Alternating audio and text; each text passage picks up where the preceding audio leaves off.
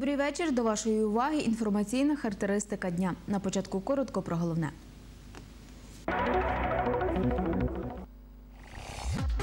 Опалювальний сезон буде завершено через тиждень. Виняток зроблять лише для лікарень та дитсадків. 14 квітня у Тернополі хода великою хресною дорогою. Незабаром музична школа номер 1 у Тернополі носитиме ім'я Василя Барвінського, який є засновником цього закладу.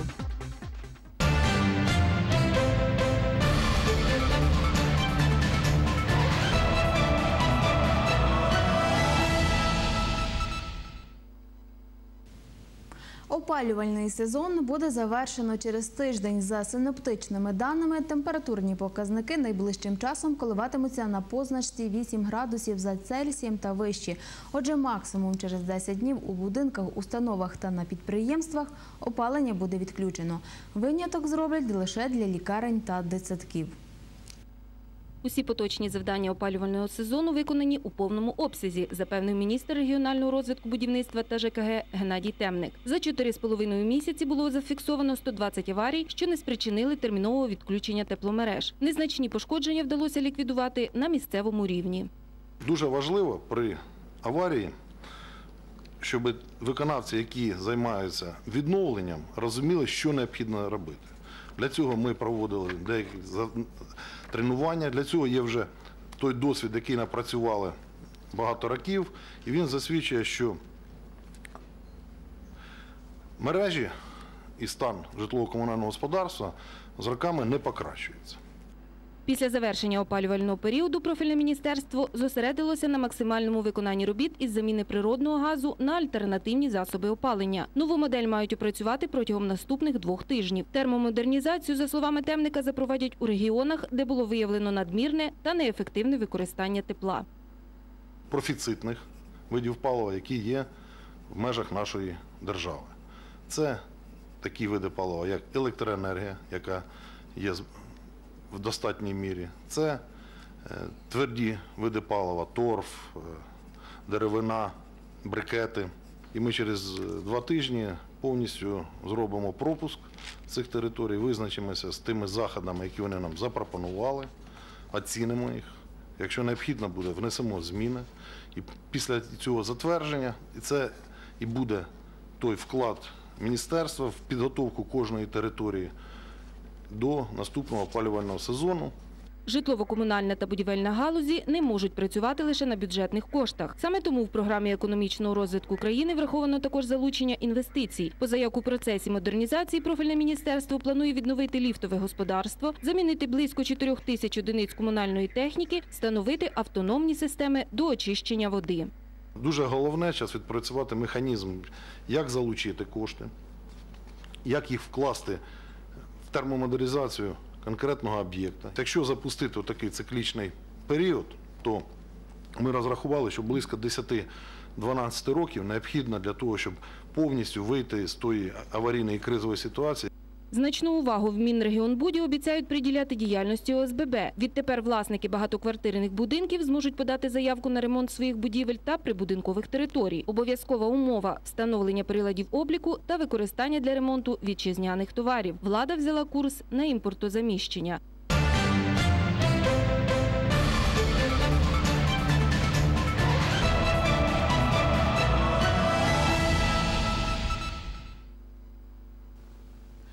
Голова обласної державної адміністрації Валтин Хоптян доручив керівникам районів тримати на особливому контролі питання погашення заборгованості по заробітній платі. Керівник краю наголосив на важливості цього питання під час наради, присвяченої актуальним проблемам життєдіяльності регіону. Валентин Хоптян відзначив, що одним з найбільших боржників є Тернопільський аеропорт і доручив першому заступнику голови обласної ради Сергію Таршевському шукати шляхи розв'язання ситуації з боргами аеропорту. Минулої доби на Дністрі продовжувався спад рівнів води. На лівих притоках Дністра і притоках Прип'яті вони коливалися в межах 1,21 см з переважанням росту. Натомість на річці Стрипа гідрологічний пост Бучач і на річці Збруч гідрологічний пост Волочиськ є вода на заплаві. Про ситуацію із паводком у Бучицькому районі телефоном начальник відділу з питань надзвичайних ситуацій Бучицької РДА Василь Тимчій.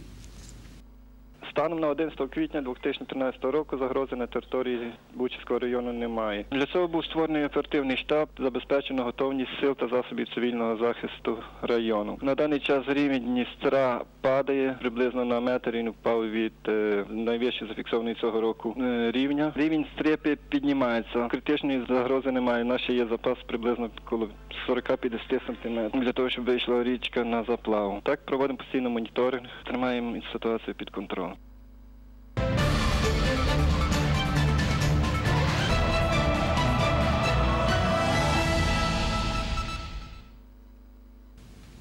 Сьогодні 75 молодих тернополян урочисто отримали паспорти.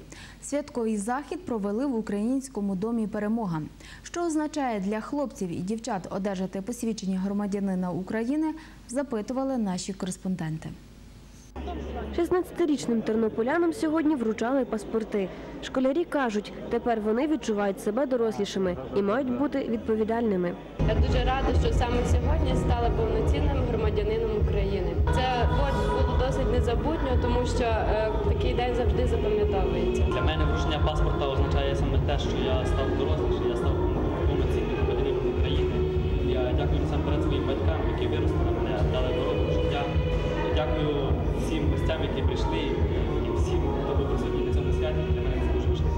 Отримання паспорта це перш за все дуже крок у доросле життя для кожної, для кожної підлітка. Це нові проблеми, звичайно, відповідальність, але ти розумієш, що ти стаєш старший, відкривається більше можливостей. Міський голова Тернополя Сергій Надал зауважує, урочисте вручення паспортів стара добра традиція, яку цьогоріч відродили.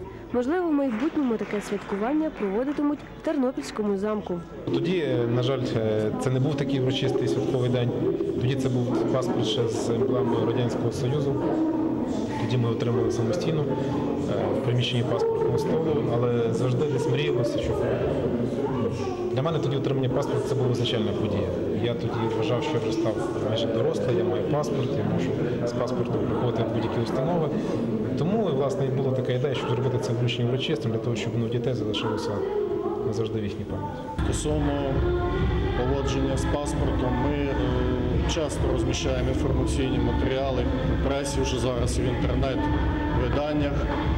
Для молодих людей побажання одно надійно його зберігати і піднімати імідж документа громадянина України. Вручення паспортів, зазначають представники міської ради, подія особлива, тому воно має бути святковим. А хлопці і дівчата з цього моменту повинні виконувати усі громадянські обов'язки.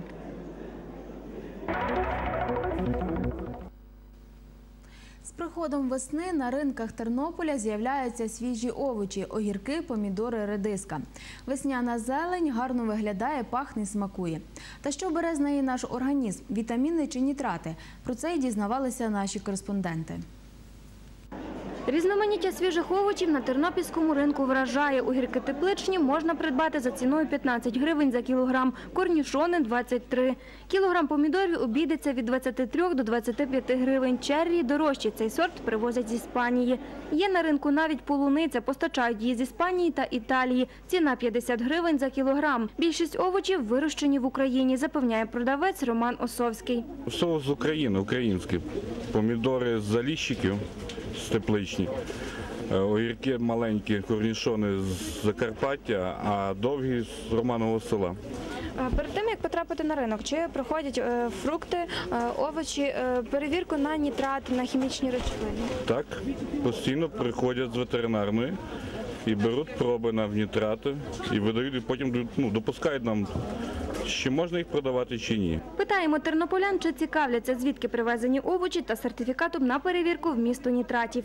Чи купляли ви вже цього року огірки, помідори, редиску? Купляла огірки. Огірки брала так на канапочку. А не питалися, чи звідки вони привезені, чи вони оброблені, не А оброблені? вони що скажуть? Огірки купляла. А питалися, звідки завезені, цікавилися чи не? Романового села питалася. Але то там на там тім ринку. А завжди так запитуєте? Запитую. Вам цікаво, звідки продукція, чи вона не оброблена? Впевнена. Так, так, тільки, бо це наше здоров'я. А що відповідають по- покупці? це? Я знаю, та так кажуть, віру, то що кажуть. Ну, то, що говорять, то треба вірити. Питали, звідки вона привезена. Не переживайте, що в ній є якісь нітрати, хімічні речовини, бо все-таки ще рано для людей. Ні, не питали. А чому? Так, нам не інтересно. Не дозволяю собі. А чому? А тому що для мене дорого. Дорого. Звичайно. А якщо купляєте, е, чи запитуєте, е, звідки ці овочі привезені, чи вони не оброблені різними? Обов'язково. І яку відповідь часто чуєте? Боже. Ну завжди їх неправду. Правду про вміст нітратів в овочах дізнаємося в обласній державній лабораторії ветеринарно-санітарної експертизи. Придбали огірок, помідор, редис та полуницю. І зараз вирішимо у лабораторії, перевіримо, чи є у цих овочах та фруктах нітрати.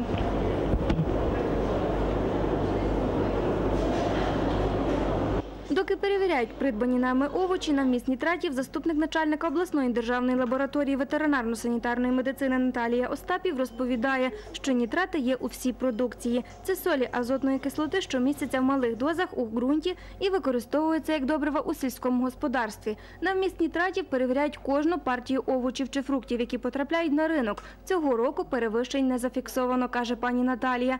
Приємно дивують і результати нашої експертизи. При дослідженні редиски ми отримали результат 453 мг на кілограм міст нітратів. При гранично допустимій концентрації для е, редиски закритого типу 2400 мг на кілограм. Досліджували ми огірки, е, отримали результат 10,3 мг на кілограм, при гранично допустимій концентрації 400 мг на кілограм. Е, При дослідженні помідорів ми отримали 5,6 мг на кілограм, при гранично допустимій концентрації 300 мг на кілограм. І при дослідженні полуниці ми отримали результат 7,9 мг на кілограм, при гранично допустимій концентрації 60 мг на кілограм. Отже, можу запевнити вас, що на сьогоднішній день ранні овочі і фрукти, які реалізуються на центральному ринку, безпечні. Накопичують нітрати, редиска, буряки, морква, кабачки та листова зелень. Позбутися цих речовин можна, якщо вимочувати овочі у воді протягом двох годин або варити. Визначити вміст нітратів при покупці неможливо. Відрізнити на око неможливо. Тільки е, лабораторні методи дослідження покажуть, чи є вміст нітратів, чи нема. І тому при покупці, які е, на центральному ринку закупляють продукцію, нехай вимагають експертні висновки, де вказано, продукція є власник і вміст нітратів. Як стверджують фахівці, накопичення нітратів в організмі викликає захворювання серцево-судинної системи кишково-шлункового тракту, порушує функцію щитовидної залози.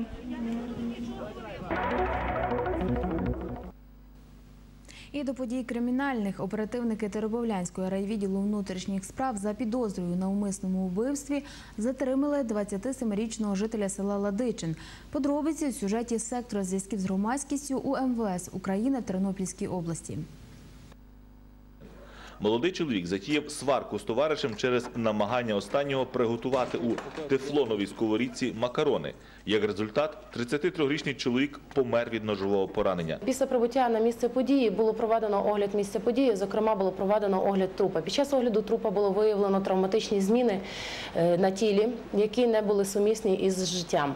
Е, Відповідно, під час проведення огляду місця події, а також проведення експрес-аналізів е, і оцінки об'єктів, вилучених із слідової інформації на місці події, було встановлено, що е, даний чоловік помер внаслідок ножового поранення черевної порожнини живота. Причиною всього того, що відбувалося напередодні і в момент вбивства, як не банально, стало надмірне вживання алкоголю. До них е, приїхав знайомий з сусідньої області Івано-Франківської, і вони з метою відзначення приїзду свого колеги е, розпивали протягом 6-7 квітня 2013 року спиртні напої.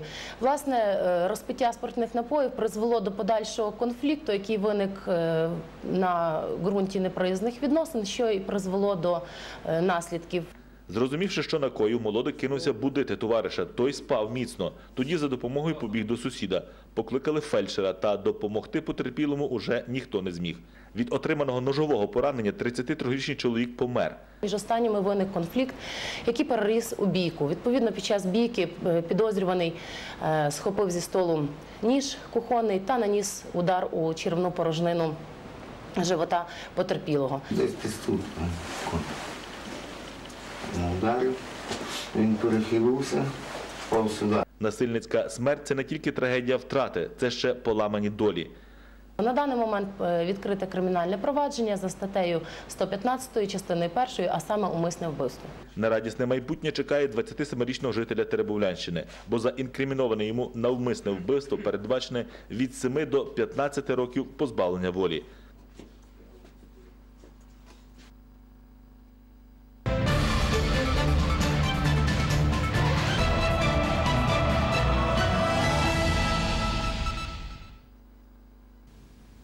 Далі у випуску освітянські новини. У музичній школі номер 1 Тернополя провели громадські слухання щодо присвоєння навчальному закладу імені Василя Барвінського. Більше про це у сюжеті Руслани Стасишин. 12 років перша музична школа обласного центру йде до втілення своєї мрії, та й не тільки своєї.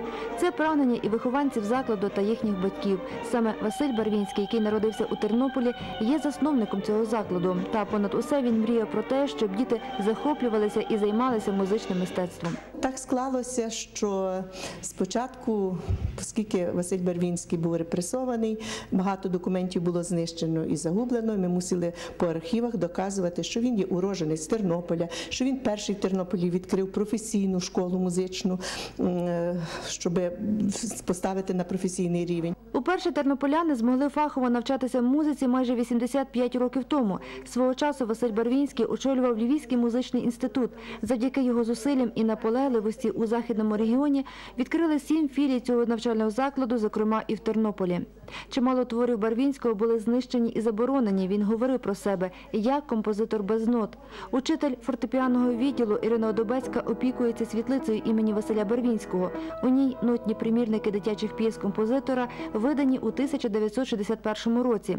Найцінніший експонат збірник фортепіаних п'єс 1947 року, де ім'я Барвінського закреслено. Я горжуся тим, що е, е, вперше в Тернополі перший портрет був в нашій музичній школі. Він на стенді є. Це написав е, художник Лучанко. Дівчинка вчилася в нашій музичній школі, і татові захотілося зробити нам такий подарунок. От і отже, багато років ну, ми збирали все, що видано. Було Отож, зібравши велику папку документів, колектив школи дочекався того моменту, коли вийшов новий закон щодо присвоєння. Перш за все, потрібно провести громадське слухання. Тому до зали навчального закладу прийшли чимало тернополян, які підтримують ініціативу присвоєння першій музичній школі імені Василя Барвінського. Наступний крок внесення цього питання у порядок денний сесії міської ради. Сьогодні тут навчається 620 учнів, працює понад сотня вчителів. Я горжуся тим, що більша половина вчителів це випускники нашої школи. Е, Багато е, вчителів, е, викладачів музучилища, випускники нашої школи. Музична школа номер 2 більшість викладачів нашої школи. Сім творчих колективів, хор, симфонічний та народний оркестри, естрадний ансамбль, учительські команди представили кращі свої твори. Звичайно, що були і хвилювання, і радість. На гітарі граю 4 роки. Що найбільше подобається тобі? Відчувати мелодію. Сьогодні будемо виконувати Алелуя Леонард Кобен і баладу про мальву і текілу. Я граю разом з оркестром. Е, В народному оркестрі ми граємо три п'єси. Гарно надіюся, що все вдасться. Переживаєш? Трошки так. Думаю, що Барвінські будуть. Поки буде існувати наш народ, поки буде існувати наша школа, я думаю, що і будемо ростити піаністів маленьких барвінських. Кращі учні Тернопільської спеціалізованої школи номер 3 з поглибленим вивченням іноземних мов мають можливість навчатись у Канаді. З цікавими пропозиціями до школи завітав президент Ванкуверського університету Джим Кларк, відомий своїм численним внеском на підтримку міжнародної освіти. У сучасному світі постійно зростає необхідність вивчення мов міжнародного спілкування. Нові завдання вимагають вищого рівня володіння іноземними мовами, особливо серед учнів середніх шкіл. Над цим активно працюють у Тернопільській спеціалізованій школі номер 3 з поглибленим вивченням іноземних мов. Для того, щоб учні поглиблено краще знали англійську мову, ми зав'язуємо будь-які дружні зв'язки з школами з інших країн. Ми маємо творчі зв'язки із Англією, Лондон, Graham School, маємо з Німеччиною, маємо з Польщею. Президент Ванкуверського університету Джим Кларк, власник низки компаній, пов'язаних з ринком навчальних послуг у Тернополі вперше. Він розробив програму вивчення англійської мови для школярів і студентів під назвою SMART. Ця програма є успішною у всьому світі. Запровадять її і у третій школі міста Тернополя для учнів 6-9 класів. Ми вирішили зробити навчання симбіозом з використанням вчителя та комп'ютерних технологій. Директор спеціалізованої школи номер 3 Степан Іванович Дудяк радо погодився співпрацювати з нами у цій програмі і надати повну матеріальну базу для покращення вивчення англійської мови своїми учнями. Кожна дитина має свою сторінку, чи як ми називаємо ящик електронний. Там є матеріал, який дитина повинна вивчити за певний період часу, а відповідно потім і завдання тестування. За словами учнів, новітня програма є зручною і доступною, дозволяє ефективно вивчати англійську мову без вчителя та підручників, а лише за допомогою електронних носіїв та мережі інтернет. Вона містить набір уроків з граматики, лексики та читання. Після проходження усіх рівнів та складання контрольних тестів кращі учні отримують сертифікат на навчання у будь-якому університеті Канади. Ми е, скористалися можливістю, яку нам надав Ванкувер, поїздка туди на навчання на літню програму, де можна так само збільшити свій підвищити свій рівень знань, а також е, поспілкуватися з людьми там і пройти певний тест, який потім може дати змогу показати свій рівень і не тільки в Україні, але й за кордоном. Для обміну досвідом у вивченні іноземної мови на зустріч із Кларком завітали заступники директорів усіх спеціалізованих шкіл міста Тернополя, які зацікавились впровадженням новітньої програми СМАРТ серед своїх учнів. А далі помандруємо на театральні вечори до школи села Полупанівка Підволочиського району. Днями там представили виставу Зачарована красуня. Більше про життя сільської школи у сюжеті Ірини Терлюк.